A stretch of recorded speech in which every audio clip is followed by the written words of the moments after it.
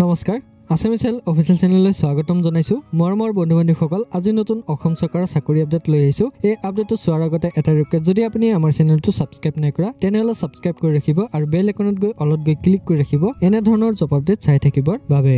মৰমৰ বান্ধৱীসকল নতুনকৈ অংগনবাদীত আকৌ পোষ্ট মুকলি পাইছে। এইকেইটা পোষ্ট আবেদন কৰিবলৈ শিক্ষাগত অৰ্হতা কি লাগিব কেনেকৈ এইকেইটা পোষ্ট আবেদন কৰিব পাৰিব? কিমানকেইটানো পোষ্ট মুকলি পাইছে? এই সকলোবোৰ এই ভিডিঅ'টোৰ যোগে কৈ দিয়া হ'ব। বান্ধৱীসকল যদি আপুনি অংগনবাদী চাকৰিৰ ইণ্টাৰেষ্টেড হয় তেনেহ'লে এই ভিডিঅ'টো চাই থাকিব। তো বান্ধৱীসকল আহক ইয়াৰ অফিচিয়েল এডভাৰটাইজমেণ্টখন এবাৰ চাই লওঁ। Assam anganwadi recruitment two thousand twenty ফ'ৰৰ এইখন ইয়াৰ অফিচিয়েল এডভাৰটাইজমেণ্ট হয়। তো বন্ধুসকল অংগনবাদী কৰ্মী আৰু সহায়কৰ পোষ্ট ইয়াত মুকলি কৰা হৈছে। তো বন্ধুসকল ইয়াত ফৰ্টি টু অৰ্থাৎ বিয়াল্লিছটা পদ মুকলি কৰা হৈছে। এই পদকেইটা অংগনবাদী কৰ্মী আৰু সহায়কৰ পোষ্ট মুকলি কৰা হৈছে। অৰ্থাৎ অংগনবাদী ৱাৰ্কাৰ এণ্ড হেল্পাৰৰ পোষ্ট মুকলি কৰা হৈছে। অংগনবাদী ৱাৰ্কাৰৰ বাবে চৈধ্যটা পোষ্ট মুকলি কৰা হৈছে আৰু অংগনবাদী হেল্পাৰৰ বাবে আঠাইছটা পোষ্ট মুকলি কৰা হৈছে। তো বন্ধুসকল এই পোষ্টকেইটা আবেদন কৰিব হ'লে ইয়াৰ এডুকেশ্যন কোৱালিফিকেশ্যন কি লাগিব ইয়াৰ অৰ্হতাসমূহ কি কি লাগিব? অংগনবাদী কৰ্মী আৰু সহায়কাৰ পোষ্টকেইটা আবেদন কৰিব হ'লে আপুনি চাহী এলেকাৰ মহিলা প্ৰাৰ্থী হ'ব লাগিব তেতিয়াহে আপুনি আবেদন কৰিব পাৰিব। ইয়াৰ পিছত ইয়াৰ এজ লিমিটটো আছে ওঠৰৰ পৰা চৌৱাল্লিছ বছৰলৈকে আপুনি আবেদন কৰিব পাৰিব। ইয়াৰ পিছত দেখিব পাৰিছে অংগনবাদী কৰ্মীৰ পদৰ বাবে শিক্ষাগত অৰ্হতা দেখিব পাৰিছে। উচ্চতম মাধ্যমিক পৰীক্ষা পাছ কৰিব লাগিব অৰ্থাৎ H S S L C উত্তীৰ্ণ হ'ব লাগিব। যদি হাই ছেকেণ্ডেৰী পাছ কৰিছে তেনেহ'লে আপুনি অংগনবাদী কৰ্মী পোষ্টকেইটা আপুনি আবেদন কৰিব পাৰিব। আৰু যদি সেই এলেকাত কোনো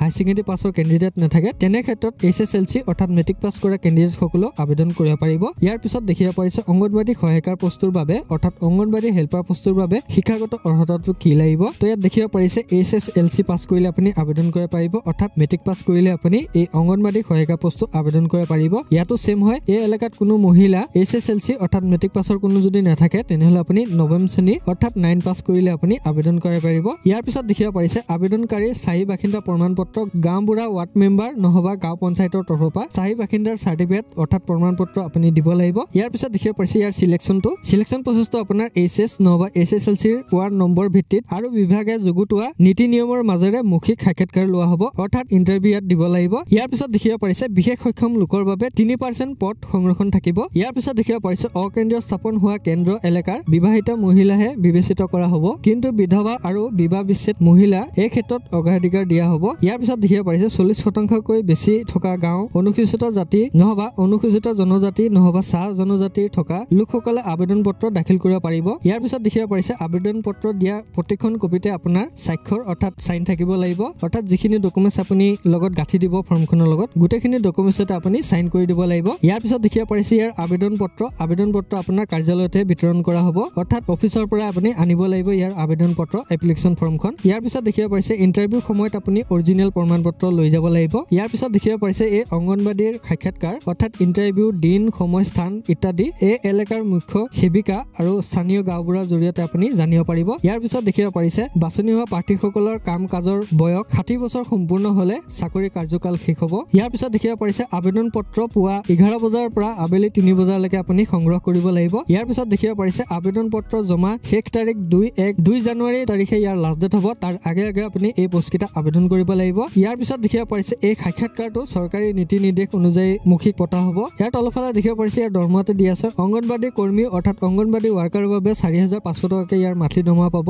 ইয়াৰ পিছত দেখিব পাৰিছে অংগনবাদী সহায়িকা অৰ্থাৎ অংগনবাদী হেল্পাৰ পোষ্টকেইটাৰ বাবে মাথলি দুহেজাৰ দুশ পঞ্চাছ টকাকৈ মাহে পাব। ইয়াৰ পিছত দেখিব পাৰিছে হাউ টু এপ্লাই তো বান্ধৱীসকল এইকেইটা পোষ্ট কেনেকৈ আবেদন কৰিব পাৰিব। এইকেইটা পোষ্ট আবেদন কৰিবলৈ অফলাইন যোগে আপুনি আবেদন কৰিব লাগিব। অৰ্থাৎ ইয়াৰ ফৰ্ম আছে। সেই ফৰ্মখন ফিল আপ কৰি আপুনি আবেদন কৰিব লাগিব। সেই ফৰ্মখন ক'ত পাব? শিশু উন্নয়ন প্ৰকল্প বিষয়া কঠীয়াতলী কমা নগাঁও এই অফিচত আপুনি পাব। অৰ্থাৎ ইংলিছত child development project officer Kathiatoli comma Nagaon এই অফিচত আপুনি আবেদনৰ ফৰ্মখন পাই যাব আৰু তাতে আপুনি জমা কৰিবও লাগিব। তো ইয়াৰ আবেদনৰ ফৰ্মখন এই অফিচত দিনৰ এঘাৰটা বজাৰ পৰা আবেলি তিনিটা বজাৰ ভিতৰত আপুনি সংগ্ৰহ কৰিব লাগিব। আৰু তাতে আপুনি জমাও কৰিব লাগিব। তো বান্ধৱীসকল ভিডিঅ'টো দেখিব পাৰিছে ইয়াত গাঁও পঞ্চায়তৰ নাম কেন্দ্ৰৰ নং আৰু কেন্দ্ৰৰ নাম দিয়া আছে পদৰ নামো দিয়া আছে। যদি আপুনি গাঁও পঞ্চায়ত আৰু এই কেন্দ্ৰৰ যদি আপুনি স্থায়ী বাসিন্দা হয় তেনেহ'লে আপুনি এই পোষ্টকেইটা আবেদন কৰিব পাৰিব। তো বান্ধৱীসকল এটা এটাকৈ ক'বলৈ গ'লে মোৰ অলপ দেৰি হ'ব। ভিডিঅ'টো আপুনি ৰখাই ভালদৰে পঢ়ি চাই ল'ব পাৰিব। তো বান্ধৱীসকল এই অংগনবাদী ৱাৰ্কাৰ আৰু হেল্পাৰ পোষ্টকেইটা আবেদন কৰিবলৈ ইয়াৰ ডকুমেণ্টছসমূহ কি কি লাগিব? প্ৰথমতে আপোনাৰ পাছপোৰ্ট চাইজ ফটো লাগিব।